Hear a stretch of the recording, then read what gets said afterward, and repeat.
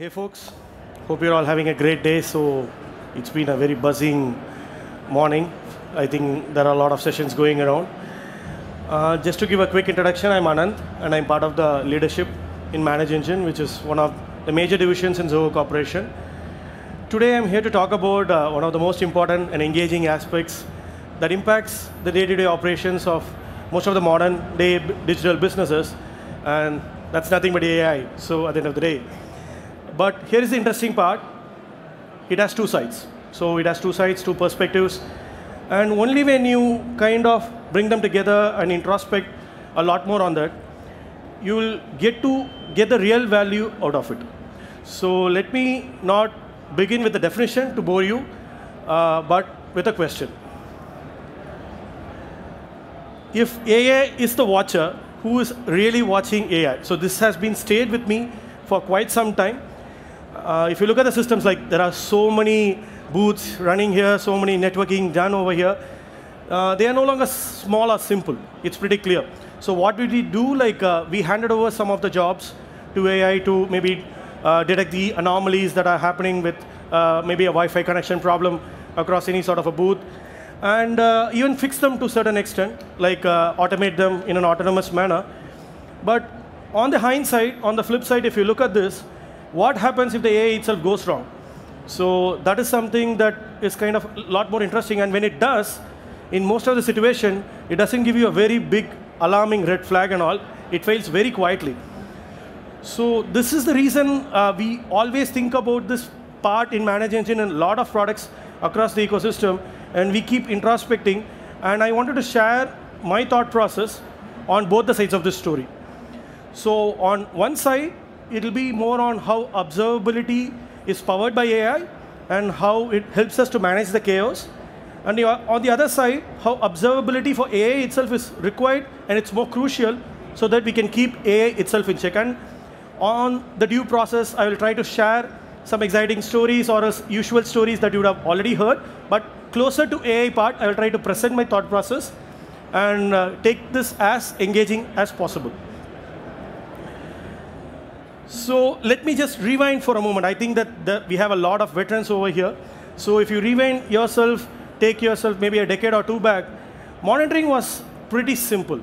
So we had a set of monolithic applications that got deployed in cluster setup or grid setup in co-location data centers, and you have networking that is done across all the applications and bytes being captured. And you you used to record a lot of things so that whenever there is a problem, you get the root cause analysis from the monitoring solutions, and you kind of go towards it, try to figure out what is the problem, and we kind of sometimes take the logs and debug it and fix it, and life moved on. But if you look at the current scenario, it is no longer this simple. Uh, the reason being, we have multiple cloud providers. Apart from AWS, we have multiple cloud providers with multiple regions. And what is the problem is like, you are being given the option to deploy in just a click of a button. And apart from this containerization, you have thousands of containers spawning up and down on a random basis, which sometimes goes out of control. And moving from here, you have containers calling APIs, and the APIs are calling other APIs in endless chains in the agentic era. And finally, you have a set of users and behaviors of users who leave the app the moment it is spotted to be slow. So if you consider this entire scenario, it's no longer a system anymore, it is more of like a jungle that we are actually dealing with. So full stack observability is some sort of a solution that we are trying to figure out still to kind of map this jungle. And uh, if you ask me whether we can navigate this jungle easily by creating more dashboards or more alerts or more workflows, uh, the answer is not. Answer is going to be a big no. It is going to be how efficiently we use AI to solve and automate, automate this entire workflow as much as possible. So you, you see that there is a lot of ecosystem related problem in this scenario, but A acts like a co-pilot. So most of the people fail to realize the fact it acts more of like a co-pilot to the existing humans in the observability ecosystem. So it scans millions of events that are going to go across networks, end user experience, servers, applications, and it scans almost all the events co correlate all those events together and clusters those signals and helps us to connect the dots across every layer in the application ecosystem. And sometimes it even helps us to predict what might break next. So that's the most important aspect that we actually rely on AI for. So it is more of like if you check out this particular visualization, it, it acts like an air traffic control system in case of the modern digital world. There could be thousands of planes that are actually flying across the sky. You are facing a lot of delays right now in, uh, in, in, flight, and there are a lot of cancellations happening. But if you look at AI, it helps us to spot exactly what are the flights that we have to look into right now to make sure we give a convenient experience to the customer at the end of the day. So this could be a little bit like a gibberish kind of an example. So I'll just give you an air on air event routine that even that happens on a routine basis uh, just before the reinvent. Uh, I've been driving here for a decade, so every time when I come here, I see Black Friday happening the week before. So if you can just imagine that you're using an e-commerce app and uh, you are actually kind of doing a promotional aspect, like say you're doing a marketing campaign for a discounted product, say there is a Nike Pegasus Premium or a Premium player, Vomero Premium that is being sent out for a 50% off. Who doesn't like it? So a lot of users just come and bombard your app, and they, are, they all face a single checkout problem at some point of time when the load is going to be unim unimaginably huge. So with traditional monitoring systems, this situation could turn out to be a big chaos. So what you will get is like, you will have a single pane of glass, like it's a common word, and uh, you will have CPU, memory, or API response time, everything will be spiking up. And uh, again, your operations team uh, tensions will also be flying very high, and they'll be coming to a single disk, and they'll be collating all this data. But by the time they arrive at a solution, you would have lost all those users who are actually in a checkout process, and millions of dollars will be also out of your bank balance at the end of the day. So what you got to realize is like, how can we do better with AI-powered observability in this scenario?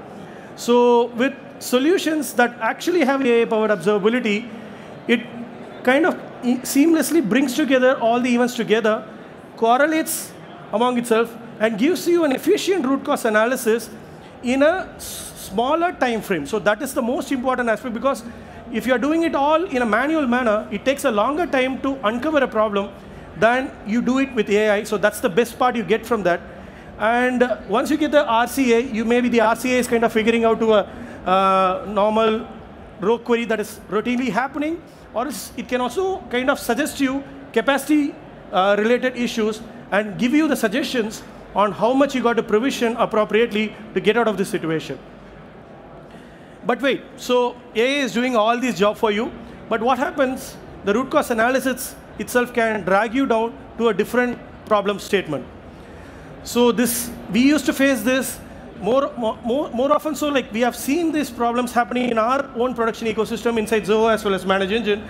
Like uh, it will give us a anomaly or else a false prediction which takes, which takes our entire operation team towards a completely different direction. It, it's more of like a ghost hunting trial if you look at this situation. They will go towards one, one particular problem statement. And uh, the scariest part here is like, when AI is failing, it fails with utmost confidence. It makes you believe that I'm always right. I think most of you folks would have used ChatGPT and you would have believed its responses. On the, on the hindsight itself, you, you, you may think that you might have a uh, different assumption, but you won't question the assumption of ChatGPT because it's having huge amount of data to work on to give you the right answer. So you keep believing in that scenario. So imagine this side of the story as well. So I use a lot of weather apps. So uh, on a routine basis, I rely on it to book meetings and go across zones to actually meet customers. So just imagine that I need to go to uh, New York right now. So there's a huge snowfall happening in New York. So it is a given event.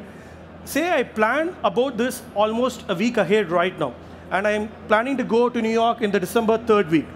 My weather app states that there is not going to be any sort of a snowfall that is going to happen in New York right now.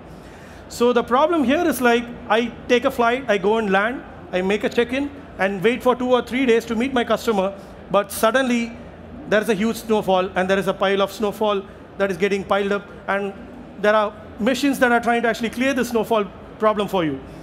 So my entire week is gone just without meeting the customer because they cannot come out. I cannot get to their place. And that is pretty much like a very big problem statement.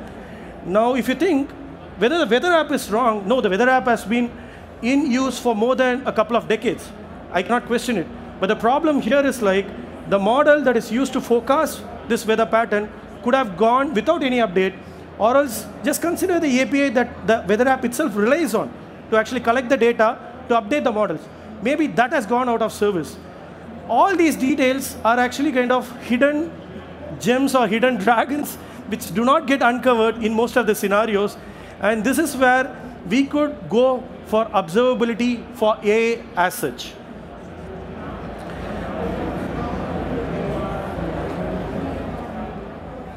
So what do I mean by observability for AI as such?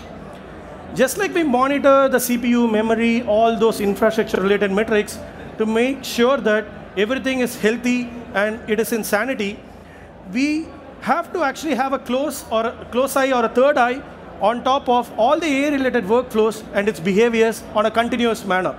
If AI is part of your tech stack, you need to have same level of visibility and data collection that you have already had for an existing tech stack all the time. So how do we do this? Now, I will just take you through a classic example uh, of how we do infrastructure-based auto-scaling nowadays in most of the scenarios. Just consider that you have an operations team, and uh, it, it has actually created a blueprint for doing auto scaling that is AI driven for your entire Kubernetes ecosystem. And they have run this AI driven auto scaling multiple times. It is bulletproof, stress tested for multiple overnight scenarios. Your operations team has been loaded with a lot of work for the entire Black Friday. They are kind of exhausted and they want to take a Thanksgiving weekend without taxing them off. So what they do is like they turn on this auto scaling mode button and enable this blueprint and they go, go on a vacation for those couple of days. All of a sudden, at some particular point, you see that a lot of resources get provisioned by this auto scaling mode and uh, it is due to some sort of a pattern that is being misread by AI to be considering it to be an auto-scaling scenario and, they, and this particular sp spike, if you consider this pattern, sometimes there could be periodic spikes that happens within a particular hour itself. So there is a concept in the cloud ecosystem where if you rotate the resources on a continued, continuous basis within a particular hour, you get charged for the entire hour. So what happens here is like, say there are 10 auto-scaling incidents happening within an hour and it continues to happen for 48 hours, you are going to end up with 500 auto-scaling events within the time your operation team gets back on a Monday morning. So they'll be staring at a huge cloud bill and uh, I pity them. So what we could have done differently with observability for AI over here. So we could have identified this anomaly detection pattern by the auto-scaling, AI-based auto-scaling system earlier, and we could have merged this context with traditional monitoring data to actually consider this to be a sustained peak in most of the scenarios, and we could have provisioned systems that could run on a permanent basis, and at the end of the day, we could have saved a lot more on your cloud bill. So this takes us to the heart of the subject. So measuring what really matters is going to be the agenda that you got to have when you're taking both sides on AI-powered observability and observability for AI. The first side is more of the classic ones, which is going to be more of observability metrics, CPU, memory. Already I repeated all those things. You already know about all those things. And uh, this helps us to make sure that the system is healthy and available all the time. The second part is something that is going to be new that you got to be a lot more interested about. It's going to be the drift, prediction rate, confidence levels, and last but not the least, cost. So these metrics will help us to make sure that we can continue trusting AI for making the decisions for us. And uh, we should also consider another fact where at scale, whether AI will run at, at a rate which we consider to be a sustainable one. So sustainability is, is one more thing that we need to consider as a factor in case of AA world. This is one of the reasons why we always feel that FinOps is one of the major players in the AA world, as we all know that we are never blessed with infinite budgets. Now, only when you bring these two sides, I spoke about two different parts, together as part of a single coin, or else maybe consider these two different aspects as a single entity, you will begin to see the real value out of it. So if you check out AI-powered observability, it gives us speed, scale, and foresight in most of the situations. And observability for AI gives us trust, reliability, and accountability. And together, you actually kind of get the full picture of observability, and it, it gets completed only when you consider both the sides, because going forward, it's never going to be about infrastructure and applications alone anymore. It's going to be infra, applications, and AI that unifies them into a single intelligent system. This is the reason like we have followed this as an expectation at ManageEngine, and we have built our ITOM suite with this exact thought process. We use AI to seamlessly integrate and correlate all the signals across applications, users, and infrastructure in order to reduce or cut the noise for the enterprises and help them focus on exactly what's needed. With a comprehensive suite of solutions uh, that is going to be more than like 60 plus products, uh, with complete focus on solving or covering all the aspects of enterprise IT management. With an integrated suite, we follow a holistic approach to AI adoption where we kind of mix all, this, all the distress signals from across the ecosystem and we create a value in a unified manner. So let me leave you with this thought process for the day. Future of observability will not, is not going to be about humans versus AI. It's going to be more about humans working with AI as active enablers. At the end of the day, we all know that we cannot fix what we don't measure, and AI is going to need the help of humans to measure what's really needed.